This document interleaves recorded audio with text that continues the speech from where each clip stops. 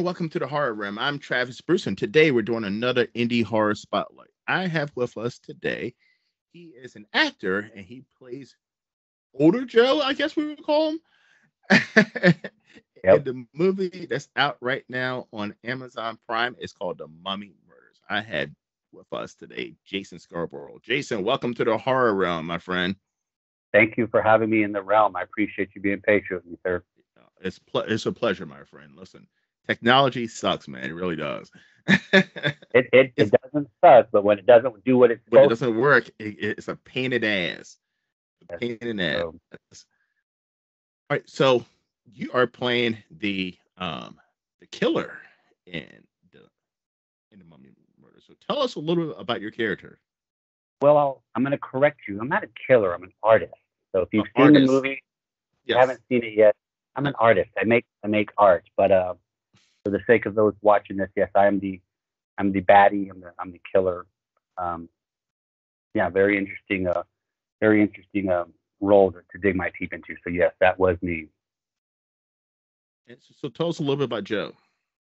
Who is she? Uh, Joe, he's just your um, um, average male that happens to have a, a desire to create art in a very unique way. Um, some might call it murder. I call it mummifying.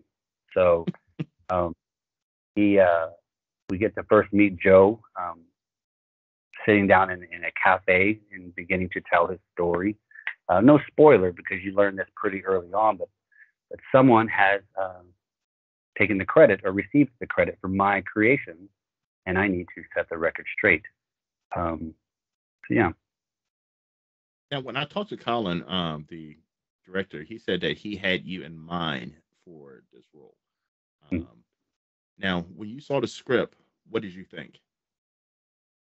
it's intimidating because it's it's and this is meant as a compliment. This is it is Quentin Tarantino style dialogue. I had pages upon pages upon pages of dialogue, and uh, I've worked with Colin before. He's a great director, uh, and he's always given me the lead way to kind of take the character where I want it to go. But still, when you see you know that many pages of words upon words upon monologues, um, it's a little intimidating at first. Um, but yeah, after the first solid read through, I knew even though I was going to audition for the character, um, I knew it was one I, I definitely wanted to get a hold of. Now, is this your first time playing a killer in a movie? This, uh, yeah, actually, yeah, I guess you say this is the first time I've, I've played the, the killer, someone that's uh, a little bit darker. You know, I've been doing this for a better part of 12 years, and you know, I've done the action hero, I've done the the, the love interest, but uh, this was the first time I got to uh, uh, delve into the mind of uh, of a serial. Now, so was it a little more challenging? Like you say, you, you've been the action hero, you've been the good guy, you've been on the other side. Was it a little bit harder to now flip the script and now be this demented serial killer? um, I I don't want to scare anybody off and say no because I've been the, the day and age we live in when you can't help but watch a god awful amount of Datelines or, or um, um, you know documentaries on, on serials and things of that nature. It's something that it's in front of our face 24/7 whether we want it to or not. As an actor, this is a role you you don't realize you're studying to get um, by getting into other characters like the action hero, the love interest. Um, so all the preparation that goes into those type of roles, once you get to something like this, you still prepare, but then you have the the freedom to just go as deep, go as dark as you want to. Um, and no one can really frown at you because you can just blame it on the character. Hey, it wasn't me. It was No. this is what you do in the, the character. So yeah, definitely went through some uh, some dark places to, to bring Joe out. Yeah, the Joe definitely goes in some dark places. Now, do you do any research on serial killers or how their behaviors, their, their, their speech pattern? Did you do any of that? Well, honestly, years ago, um, again, I was probably preparing for it before I even realized it. I, I was in a my day job um, selling mattresses, which is, you know, could very easily create a serial killer if you don't uh, watch. I'm just kidding. I'm just kidding. I'm just kidding. Um, but while I had that time, I was able to watch documentaries, watch the the the the, the bios on all the different uh, John Wayne Gacy's and the, the Mansons and the you you name it. So I'd already seen a lot of those.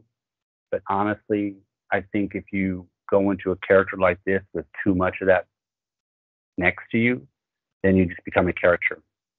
So I pulled little things from from stuff that I'd watched and studied through the years, but in the end, I, it just came down to me being present in that moment, delivering the the dialogue, and and and then like I said with Colin giving me that freedom, I was able to go wherever that character needed to go um, in the in the moment. So it was a lot of fun.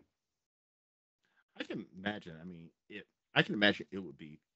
I don't know. Maybe some horror fan. I've never acted before in a movie anyway, but um, I can imagine it would be fun, but at the same time a little scary being, you know, a serial killer or being a killer in a movie because you have to get yourself into that mental space where that dark space and like when do you turn that off? Well, luckily for me, um, the location we, we filmed at, and um, I apologize, I'm not sure where, where you're based out of, but here I'm Baltimore. Down here in, in South Texas. Uh, for any of those that might watch this, uh, I'm in San Antonio, and we were just right up the road, uh, kind of in the Bulverde area. So local uh, people will know what I'm talking about. So it's about maybe an hour drive, hour and a half drive from home.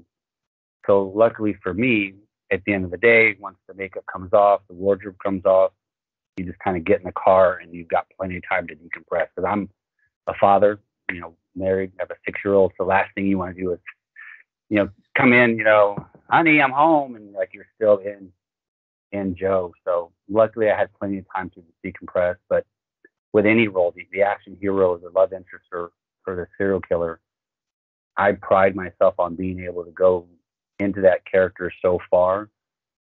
You know, that it does take a little time to, to get out of that skin. Now, I'm not one of those that's going to stop off at the store and still be in that character, but it, it does it does stay with you. And it did take me a good couple of weeks um, after we wrapped filming to just really not think like Joe when I was watching TV or, or interacting with uh, people. So. All right. So how do you go from working in a mattress store to acting? That's actually a funny story. Um, and again, if anybody watches this uh, in the South Texas, San Antonio area here in the next week or two, um, there's a uh, film festival coming up on the 28th um, that um, I might swing by. But that's how I got my start. So um, sitting there selling mattresses, daydreaming about being an actor. I'd always wanted to be an actor. I, I acted a little through high school. I've always written stuff. I've always wanted to perform. And honestly, um, in serial, everything comes back to being a serial killer. In serial killer fashion, I started just stalking people online that were in the business, and I started noticing a lot of them were going to be going to this certain film festival, and I showed up and stood in the room until I kind of recognized the face and went over and introduced myself and, and I met a couple of uh, key people and then the rest is rest is history. And actually a gentleman that I met at that festival 12, 13 years ago, um, I've worked with here and there um, through the years, but I'm actually wrapping on his first feature within the next month or so, and that'll be out later this year uh, around Christmas time. So, yeah, for those you know kiddies out there with a dream, you know, just you got to get out there and you know pound the pavement, uh, to use a phrase from from my time. Yes, you definitely have to do that. You definitely do. Boots on the ground. Boots on the ground. Now, now he, you've also done a little bit of writing and producing as well. Uh, a, a little bit. There's a couple of credits to my name out there on the IMDb. Um, so I did write a, a feature with a, a, colleague, one that I met at the that film festival by the name of Mark Cantu. Um, so I did write a, a feature, and I've, I've, dabbled in shorts here or there. And uh, truth be told, about six feet that way in my desk, there's a whole stack of stuff that I've been writing that maybe one day in the near future will will see light. Is it more challenging writing and producing than is, is acting? They're two different coats. Um, the the writing, the writing is the writing is fairly easy if you embrace it. The hard part is then seeing what you wrote and your vision at three in the morning that went onto paper kind of get dissected and switched around once once it's out there in um, uh, other actor and actress's hands. So uh, I'd say they're both equal. The producing route I wasn't too big of a fan of. Um, it was a, a, necessary, I guess you'd say, evil at the time. But uh, I really enjoy the writing. It's very therapeutic for me. And then obviously, if I can delve into a character and not be myself for a couple of weeks or a couple of months, that's always that's always fun as well. Now, now, when it came to the Mummy Murders, was it a tough shoot for you, or or did it fly by pretty quickly? It actually went by way too easy and way too quick to the point that once we got to the end of it, um, I was, you know, sad to see it go. You know, uh, I filmed for a solid week in January of last year. Had an amazing crew, amazing cast um, to work with uh, that day as well. But those four days I was on set, I blinked and it was all over, and it was time to go back to uh, to reality, to the day job for a little bit. Um, so interesting stories and, and, and tidbits while being on set. But yeah, it just it it flew by, and I I, I think that's one the the crew that we had there were spot on, getting lights in place, getting mics in place, getting everything where it needs to be, and then also the pages and pages of dialogue. You know, you hear the words action, the lights come on, you lose yourself into to that that dialogue, and the next thing you know, they say cut, and eight hours have gone by. You know, so. Yeah. Have you always been a horror fan? Uh, yeah, I'm, I've been a horror fan. Um, mom and dad will attest to this. The uh, the first movie I was ever taken to um, was The Shining at a drive-in theater here in, in San Antonio. So maybe subconsciously that's always been in me. Uh, so much so now I'm I'm slowly introducing my my six year old to that. But I I love film and movies in general. Um, horror, it, it's it's um it has its place with me, but there's there's certain types of horror that I like versus other ones. Um, yeah, I'm an equal opportunity enjoyer. And that's one thing I, I have said before. One thing about horror is horror is its own genre, but there's so many different subgenres in horror that there's something out there for everyone. Yeah, yeah, it, it, it truly is. And again, not to we all have our own opinions. I'm not a huge fan of over the top gore horror, but then again, there's you know a place for it to where I'll see something and I'm like, yeah, that's a bit gory, but that works, you know. Um, to to age my myself here, I mean, obviously I already said The Shining. I was a big fan of Howling growing up, you know. Anything with, with the old practical effects of bubbles and, and things making yes. people's face pop. Uh, um, American Werewolf in London. You've seen that as a small child. That leaves a, a mark on you as well, like my my sisters would attest to. But but yeah, I mean horror, like you said, there's so many different subgenres of it. Um, it's very interesting. And now this is my first year into doing this channel, and even you know talking to indie horror, and it was the first time I introduced actually one of your co-stars, um, Destiny Soria and she was one of my first interviews. And he was talking about, you know, San Antonio, San Antonio, Texas has this, and then over time, I keep hearing people say San Antonio, Texas, and I had no idea that San Antonio, Texas, has such a big indie filmmaking. Yeah, yeah, that's it's it's interesting because uh, geographically, there's you know there's Austin, and, and Austin keeps it weird, but um, um, if you drive just a little bit further south down here in San Antonio and in South Texas, maybe, you know, if, if you're going all the way down to the valley to, to Laredo or back up to, to Corpus, uh, I believe there's a, an immense pool of talent that's down here that, you know, just maybe doesn't always get the eyes on it that it needs to. Um, every now and then there'll be a, uh, someone that just kind of rises to the surface and, and, we praise them and we appreciate them. But um, I'm hoping um, you know, within the next, you know, who knows, a couple of years, decade, who knows, there, there'll be a little bit more big of a, you say Hollywood, but at least a bigger footprint when it comes to art, film, um, all the creative talent that we have down here. So um, that's the nice thing, though, about actors, and I say this often, is we have no shelf life. you know, I'll, I'll disappear for 10 years and I'll pop back up in 35 years, you know, already, well, not gray, but maybe the beard would be gray and I'll find work doing something else. So, but yeah, definitely down here in South Texas, there's a, uh, a lot of talent waiting to be. And I've been all throughout Texas. I've been to Houston, I've been to Dallas, I've been to Fort Worth, I've been to Plano, Killeen, all throughout Texas. But I have not hit San Antonio, Texas, which is outrageous because I'm a huge sports fan. And I, and, Yeah. and and and Spurs are my favorite basketball team. I'm surprised I haven't been to San Antonio. I hear San Antonio is amazing. Yeah, it's it's an amazing sports town. Um, I love uh, my Spurs as well, but I'm a huge baseball fan. So if there's any, you know, major league teams out there, not mention any names, but you can't draw a fan base, come on down here and I'll I'll uh, I'll at least buy a couple of. Uh, yeah, we're we're big sports town. I mean, Spurs obviously, you know, take most of that uh, that uh, shine or that light. But I am surprised, yeah, with all the work that we did down in the early 2000s and everything, that you didn't you didn't make it down here. So you, you definitely need to put it on your bucket list. Yeah, because I've been to every Major League Baseball stadium except for two, and I'm halfway through the NBA arenas, and I'm like 75. I'm like 20. I'm 75 percent into the NFL stadiums. So like, I'm shocked that I haven't gotten to San Antonio yet because I've been I've seen every Texas team, professional team, play live except for the Spurs.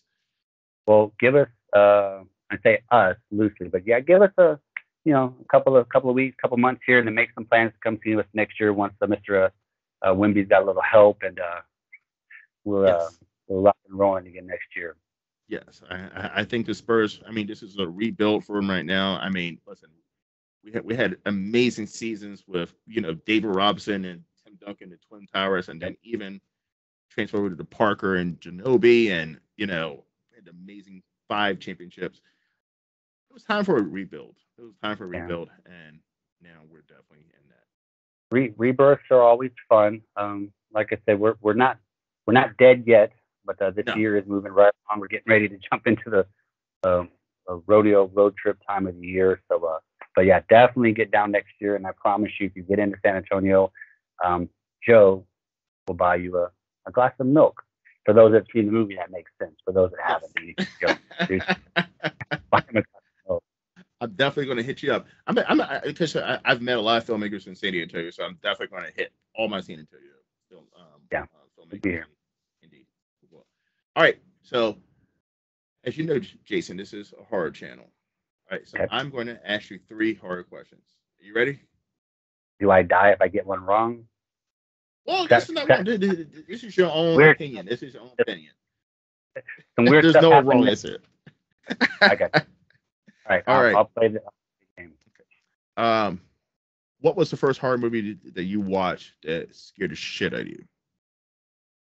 Well, The Shining, I was told that that was my first, but the first thing that comes to mind is um, sitting in a in a in a trailer in Louisiana, southern Louisiana, surrounded by pine trees, with all my kinfolk, all my cousins, and my sisters watching Children of the Corn. And then once that movie was over, had to leave that trailer, haul ass, pardon my French, across the field to get to grandma's house. That's where we were sleeping. So I don't think I touched the ground because I was worried that Malachi was, was right, was right behind. That, that's the first one that pops to mind. Would be the uh, Children of the Corn. Children of the Corn. I love that movie as a kid. I, I was a huge Children of the Corn fan. It used to come on um, regular TV. I'm saying regular TV, but it used to come on regular. I'm old too. I'm I'm, I'm 41. But um, but it, it to come on um, regular TV all the time, and I used to love the original. Now the sequels, man, that original Yeah. Children of the Corn was great. Well, those those are those originals. It, it's hard to beat them. Every now and then a sequel comes along that makes a little bit more sense, but just the the feeling you get for watching the first one the first time stays with you. You know, Yes. it's just um but yeah the, the original children of the corn and i wanted to watch the remake that came out a couple of years ago with a young little lady that girl that was in it but i missed that but original original children of the corn All right, second question. Which horror movie icon or character villain do you feel like you relate to the most? well being a, a child of the 80s and my name being Jason, you can imagine who I got teased about growing up. You know, Jason Voorhees a lot. Uh, I don't necessarily relate to him. I don't have mommy issues, and, and, and I can swim. Character I relate to most. Hmm, that's a good one. Well, maybe maybe it's just in my DNA. I'm going to go with you know Mr. Torrance from from The Shining because I mean he was just trying to provide for his family. He was out there trying to write a book. His wife and kid didn't understand him. He's got a lot of pressure on him. There's these people that are talking to him and just sorry, but um, yeah, these are good questions. I mean, I've never really thought about it, but I, I'll I'll cop out on this one and just say yeah, Mr. Torrance uh, from The Shining. Is there all right? Final question: Is there a horror filmmaker that you've always that you would love to work with as an actor? I don't want to put anything in the universe.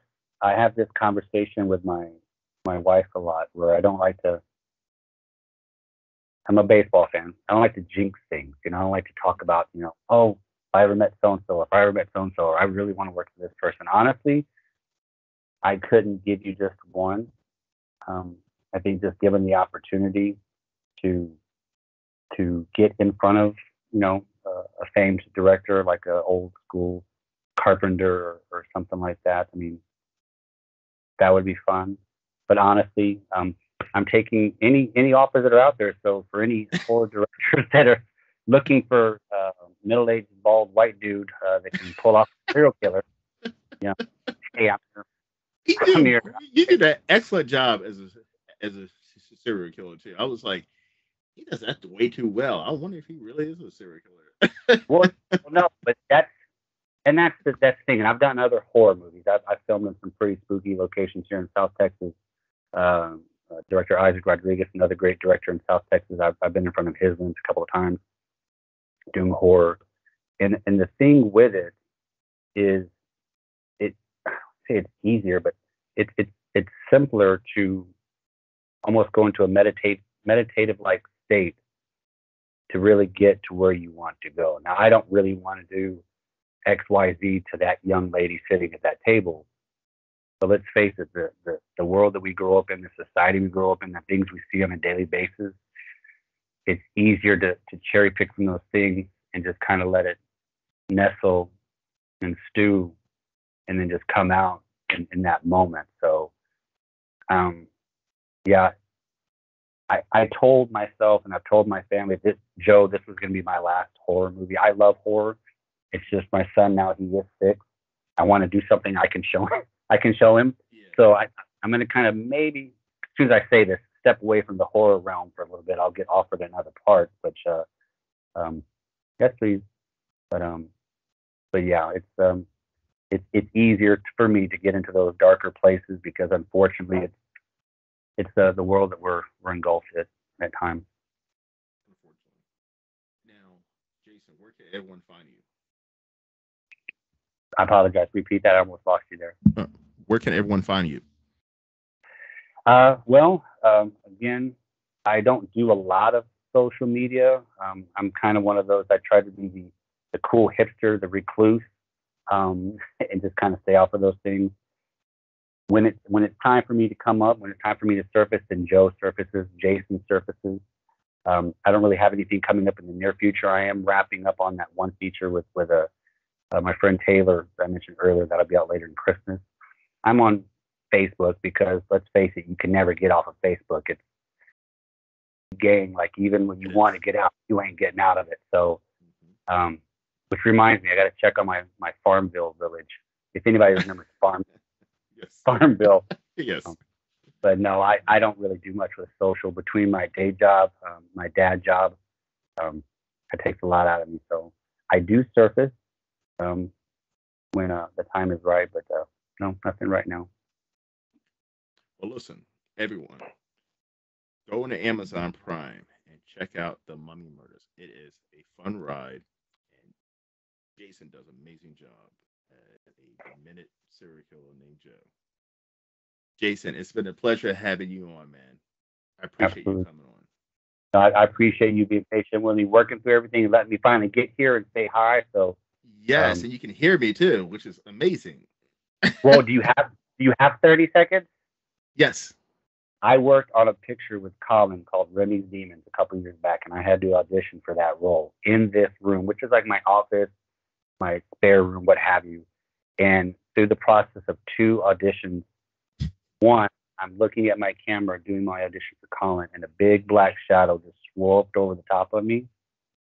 Then two weeks later, I'm getting into character, and that same shadow just passed right before the lens. So um, it was probably this room that didn't want us to talk. So hopefully all of this audio came out. If not, let's record. We'll re-record it next week. But uh, but yeah, I appreciate I appreciate you, buddy. That's no problem, man. I, I- it'll be freaky if I'm doing my editing and I see a shadow pop up. You let me know because I was actually in this room facing that wall, and the shadow came from the closet. So uh, you let me know if you if you see something. We'll we'll submit it somewhere and win money together. Exactly, right? All right, uh, Jason, listen, you got anything, please hit me up. I'll, I'll love to have you back on, man. Yeah, absolutely. Anytime, whether or not we're talking about something I'm doing, or if you want to shoot the breeze about other stuff, I'm I'm game for it. And get down to San Antonio next year. I'm going to hit you up. I'm going to hit you up, and we're going to Spurs game. I'm being dead serious. Spurs, Spurs is next year it's the Spurs. Next year it's the Cowboys. Next year it's the Oh, every- not the Cowboys. not the Cowboys, man. I'm an Eagles fan. Go Eagles. Go Birds. And we'll have to watch. We'll have to watch the game next year, and we'll commentate on the game together next year. Yes, yes. All All right, right, everyone. well, thank you for coming to the Horror Realm. I'm Travis Bruce. I'll see you guys next time. Take care. Thanks, buddy.